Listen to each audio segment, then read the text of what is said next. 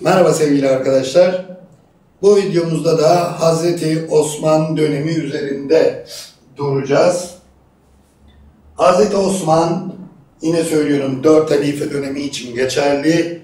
Dört halife dönemi içerisinde en uzun süre halifelik yapan kişidir 12 yıl.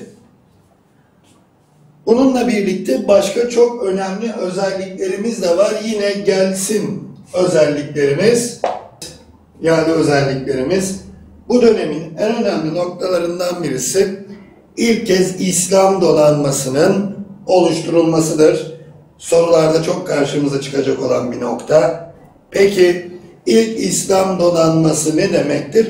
İlk deniz seferleridir. E, yorum yapıyorum, devam ettiriyorum. Denizde nereye gidersin? Adaları kuşatırsın. Adaları ilk kez özellikle Bizans kuşatılmış. Şey pardon Kıbrıs kuşatılmıştır. E Kıbrıs kimin hakimiyeti, kimin kontrolü altındadır ya da Akdeniz'deki o adalar e, Bizans'ın kontrolü altında. Bizans'ta da ilk deniz savaşları bu dönemde yaşanmıştır. Bizans İslam ordusunun büyümesinden, Afrika'daki etkinliğinden, Akdeniz'deki etkinliğinden rahatsızdır. Zatüs Savari Savaşı yapılmış ama Müslümanlar kazanmıştır. Bununla birlikte Afrika'da, Anadolu'da, Dağıstan'da, yine Azerbaycan topraklarında e, sınırların genişlediğini görüyoruz ki hatırlayın Hazarlar döneminde Hazarlarla İslam orduları karşı karşıya gelmiş ve İslam orduları Kafkaslar'da durdurulmuştu. Belencer Savaşı ile.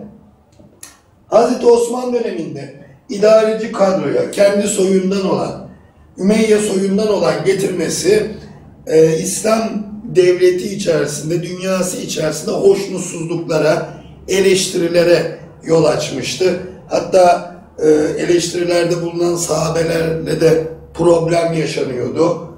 E, bu süreçte fetihlerinde yavaşlamaya başlaması devlet içerisinde bir iç çalkantıya yol açmış idi. Bu çalkantı, bu huzursuzluklar da biliyorsunuz Hazreti Osman'ın Kur'an-ı Kerim okurken şehit edilmesine kadar varacak. Ki Kur'an-ı Kerim bu dönemde çoğaltılmış ve önemli merkezlere gönderilmiştir. İşte Şam'dır atıyorum, Kahire'dir. Amaç dinin orijinal kitaptan, kaynaktan öğrenilmesi, dinin öğrenilmesinde herhangi bir yanlış bilginin ortaya çıkmaması, orijinal kaynaktan öğrenilmesi için. Daha önce de söylemiştik, kitap haline getirilmesi Hazreti Ebu Bekir, çoğaltılması Hazreti Osman, ÖSYM kim e, kitap haline getirdi, kim çoğalttı diye de bunları soruyor arkadaşlar. Evet, Hazreti Osman dönemini de kısaca geçtik. Başka bir videoda görüşmek üzere.